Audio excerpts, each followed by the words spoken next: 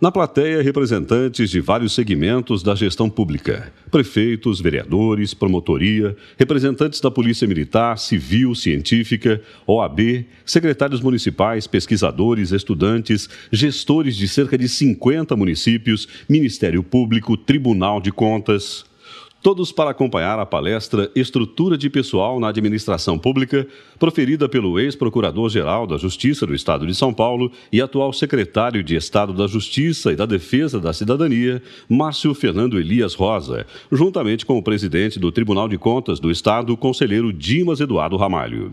O secretário fez uma introdução com um pouco de história do mundo e especialmente do Brasil, o que pôde influenciar nos caminhos das instituições brasileiras. Para ele, a situação de alguns anos para cá inegavelmente melhorou em qualidade, eficiência e profissionalismo na administração pública do Brasil, se referindo àqueles que exercem a administração pública, mas constata-se que há muito ainda a avançar e, para isso, precisa-se buscar transformações. Esse quadro evolutivo atual, muito embora o Brasil esteja numa instabilidade política e econômica extremamente severa, este quadro político tem que se prestar também à reflexão de que modo nós poderemos sair fortalecidos deste momento de crise. De que modo nós superamos o modelo anterior para o modelo do futuro, que haverá de ser um modelo de estabilidade política, econômica e de serviços públicos eficientes, evidentemente. O secretário afirma que a grande maioria da classe política tenta fazer o certo para ser capaz de administrar e governar. A exceção é que está comprometida com o erro e destaca a participação da população na fiscalização. Mas é tanto melhor que a sociedade civil esteja sempre apta a controlar, a exigir mudanças ou a promover mudanças. Não é?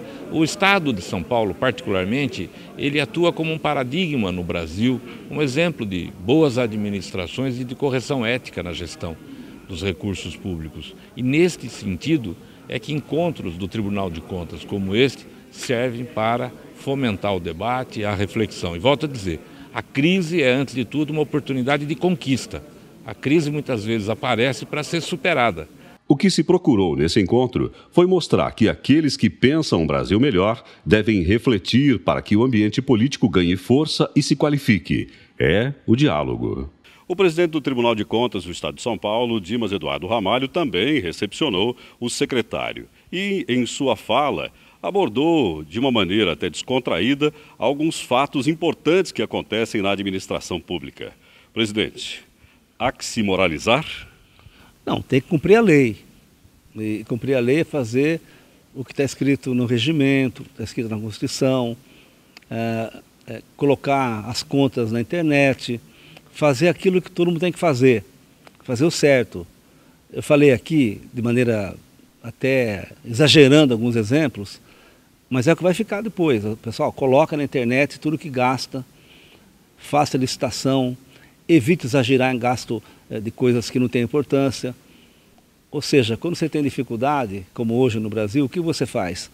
Você melhora o gasto. Na vida da gente em particular, você faz o quê? Evita viagem, adia viagem, gasta menos combustível. É o que o poder público tem que fazer. Então, foi muito importante. A Câmara da qual esteve presente, é, pelo presidente, pelos vereadores, é, o secretário é, da Justiça veio de São Paulo para falar aqui para todo mundo. Sobre a crise econômica e política, o presidente do TCE disse que acredita que já estamos passando por essa tempestade de notícias ruins divulgadas pela imprensa, mas que a vida do brasileiro de bem continuou como não poderia ser diferente. E em breve vai melhorar. Vai melhorar porque nós vamos fazer melhorar. A pergunta que mais me fazem e fizeram aqui hoje é o seguinte: bom, quem que vai restar? Acho que falaram para você já. O que, que vai acontecer? Quem vai sobrar? Eu digo, nós vamos sobrar. Quer dizer, nossas famílias, nós fazemos o certo. E os outros, eles vão passar. Quem vai se lembrar daqui a 30 anos de quem foi preso pela corrupção tal? Ninguém vai se lembrar. Eles vão para um lugar que é um lugar, um lixo da história.